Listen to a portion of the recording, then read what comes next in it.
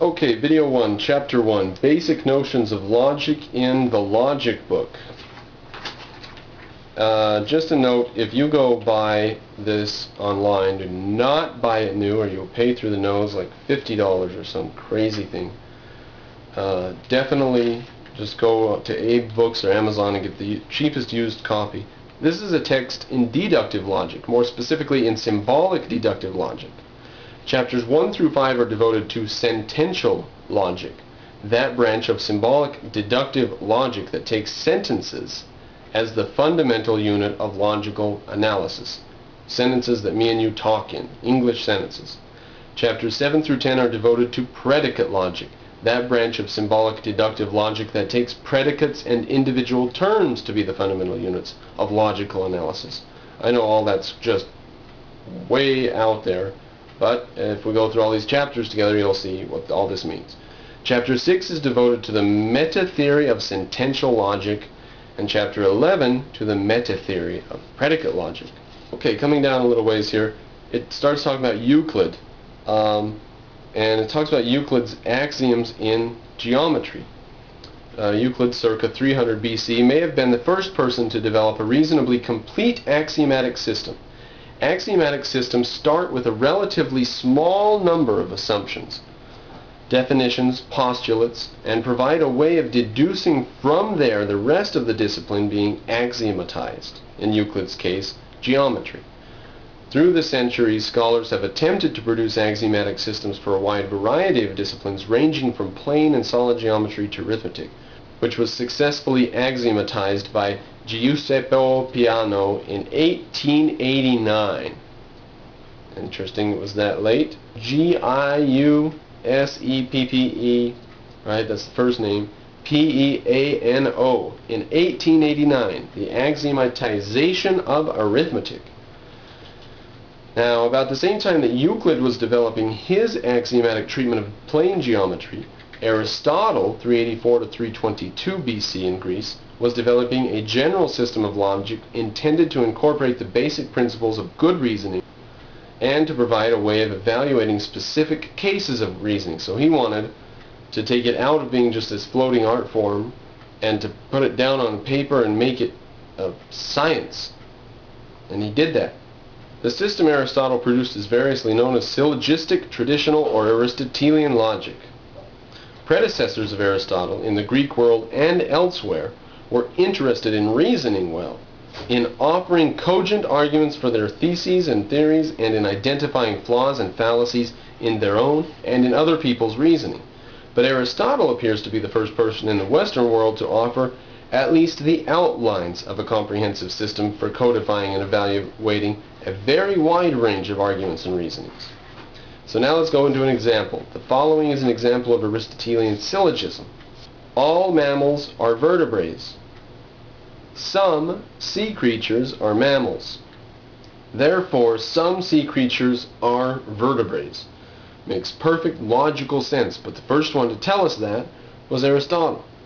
Another example, all cardiologists are rich. Some doctors are cardiologists. Some doctors are rich.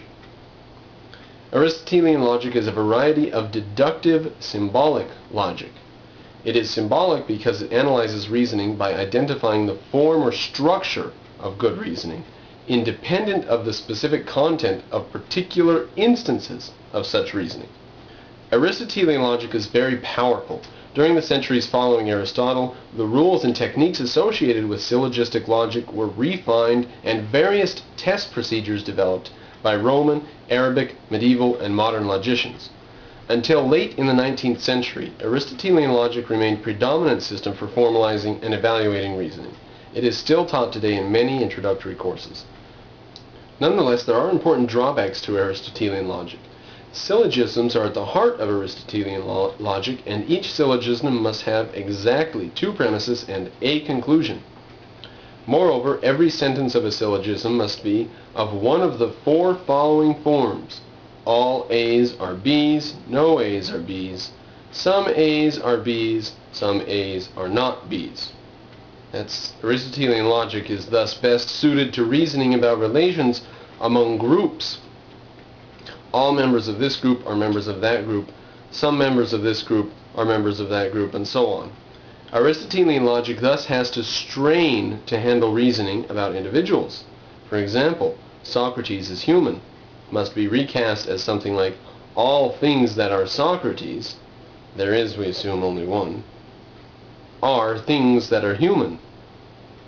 The Aristotelian requirement that every conclusion be drawn from just two premises is unduly restrictive and does not mirror the complexity of actual reason, reasoning and argumentation, a single instance of which may make use of a very large number of premises. To sum up, reasoning that relies on relations see chapter 7 for an explanation of relations, cannot readily be accommodated within Aristotelian logic.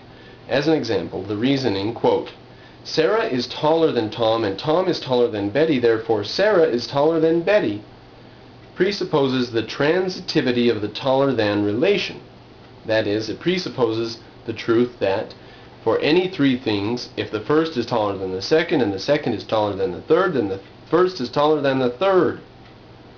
Principles such as the above and arguments relying on them cannot be incorporated with the Aristotelian framework in any intuitive way. So for these and other reasons, logicians in the mid-1800s and the late 1800s looked for alternatives to Aristotelian logic. This work involved the development of systems of sentential logic, that is, systems based on the way sentences of natural languages can be generated from other sentences by the use of such expressions as or, and, if then, and not. Let us consider an example. Karen is either in Paris or in Nairobi. She is not in Nairobi. Therefore, Karen is in Paris. Simple arguments such as the above are not readily represented within syllogistic logic. Yet the above argument is clearly an example of good reasoning. Whenever the first two sentences are true, the last, sentences, the last sentence is also true. Reasoning of this sort can readily be symbolized in systems of sentential logic. On the other hand, sentential logics are not easily able to deal with reasoning that rests on claims about all, some, or none of this sort of thing being of that sort of thing, the sort of claims Aristotelian logic can often handle. Predicate logic incorporates sentential logic and is also able to handle all the kinds of sentences that are expressible in Aristotelian syllogisms as well as those that pose difficulties for Aristotelian logic.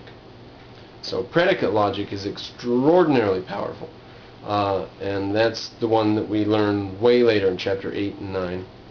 Now to get our motivation on the table, why study logic? Why would you be interested in this course on formal logic?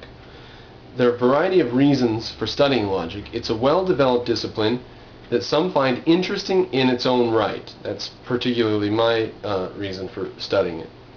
A discipline that includes a rich history and many current research programs. Certainly anyone who plans to major in either philosophy or math or to do graduate work in either should have a solid grounding in symbolic logic.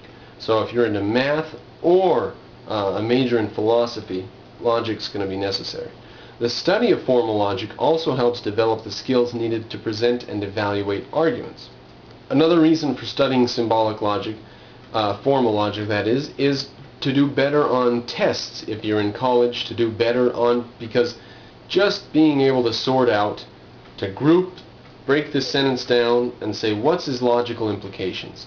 And when you're able to think logically, in a formally logically way, you're able to break down test questions and I've actually found grammatically incorrect and ambiguous test questions on professors' uh, exams, which is no big deal. That happens, but uh, it's sometimes when you're in college and you take four or five finals uh, this semester, it's good to be able to think clearly about the sentences the professor's putting out there.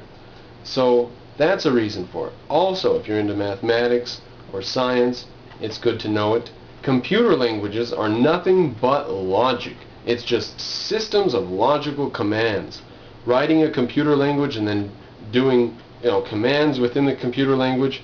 If this, then this. This, if and only if this. If not this, then this. If this, then not this. So on and so on.